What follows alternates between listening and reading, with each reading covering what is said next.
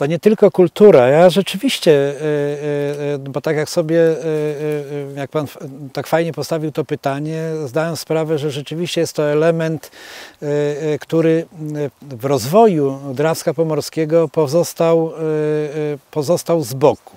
No, no zakładałem, kiedy zaczynałem tutaj według własnej, y, y, własnej koncepcji budować to miasto, no to przede wszystkim zaczynałem od, od mieszkań, bo to jest podstawa, od poszukiwania inwestora, e, stworzenie, e, z wykształcenia jestem nauczycielem.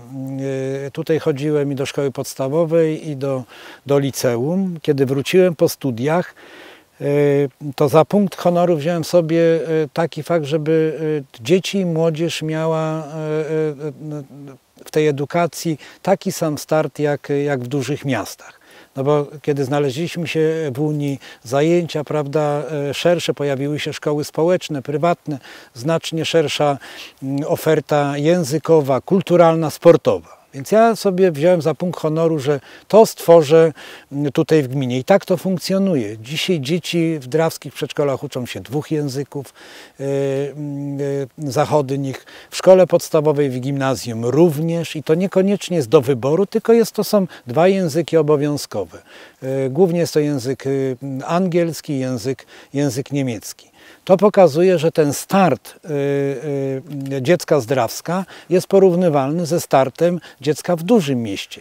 I tak samo y, czynię to w odniesieniu do dostępu do kultury i sportu. Dlatego też powstało piękne centrum zaspokajające te potrzeby. Tutaj przyjeżdżają teatry, tutaj przyjeżdżają kabarety, zespoły, które występują. Jest multikino, więc nie trzeba jechać do najbliższego tak jak to było kiedyś y, y, Szczecina, żeby, żeby zobaczyć sobie film w 3D. Drawsko to ma i z tego, z tego się bardzo, myślę, wszyscy tutaj w Drawsku cieszymy.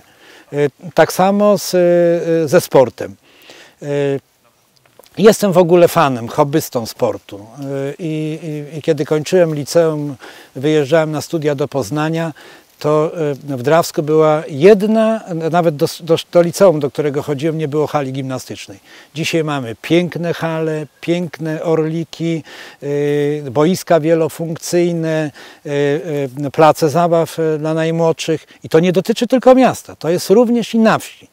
Tutaj jest, to jest taka, można powiedzieć, synergia, że to, co jest w mieście, jest również dostępne na terenie, na terenie wiejskim. No i ostatni hit z tego roku, y, którym dysponujemy, to jest, y, y, nie boję się użyć tego określenia, to jest największy i najładniejszy skatepark w Polsce.